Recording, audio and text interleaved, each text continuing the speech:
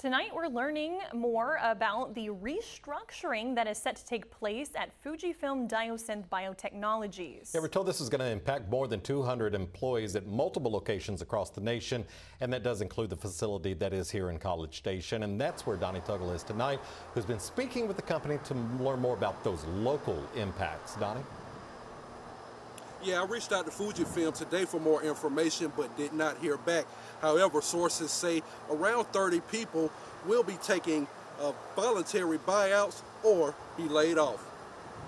Fujifilm Diosynth Biotechnologies, which arrived in the bio corridor in 2014 with over 600 employees, is undergoing company-wide restructuring, leading to layoffs. Despite this, they are currently expanding with a 138,000 square foot facility, expecting to invest $300 million and create 150 new jobs by January 2025.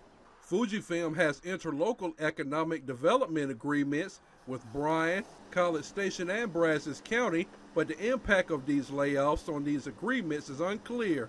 I spoke with the city of College Station. They say while they can't comment on a specific company, they say development agreements stipulate incentive payments contingent on meeting specific terms. They say failure to meet the terms can result in withholding payments until conditions are fulfilled. Now, these layoffs are just part of trends being seen across the industry.